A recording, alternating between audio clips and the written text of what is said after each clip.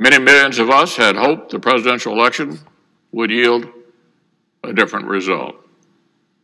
But our system of government has processes to determine who will be sworn in on January the 20th. The Electoral College has spoken. So today I want to congratulate President elect Joe Biden. The President elect is no stranger to the Senate. He's devoted himself to public service for many years. I also want to congratulate the Vice President elect, our colleague from California, Senator Harris. Beyond our differences, all Americans can take pride that our nation has a female Vice President elect for the very first time.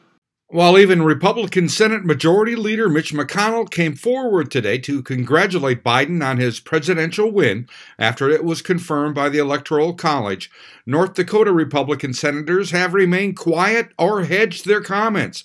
Both senators told iNewZ they supported that Texas lawsuit presented to the Supreme Court to toss out votes, which was flatly rejected by the Supreme Court.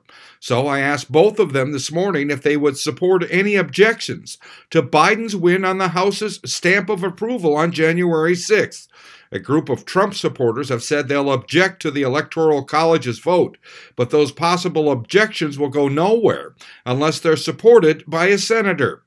I received a no reply from Senator John Hoeven, and Senator Cramer's press secretary sent this quote that was given to a D.C. reporter yesterday on whether Cramer would support any objection to approving the vote.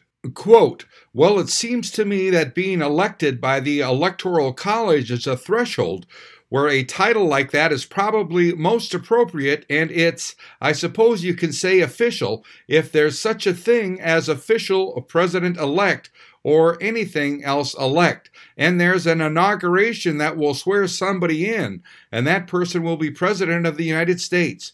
But whether you call it that or not, you know, there are legal challenges that are ongoing. Not very many, probably. Not a remedy that would change the outcome, but so I don't, again, I don't know how uh, politicians refer to another politician, but it does look to me like the uh, big race is really between the inaugural committee and the Justice Department at this point.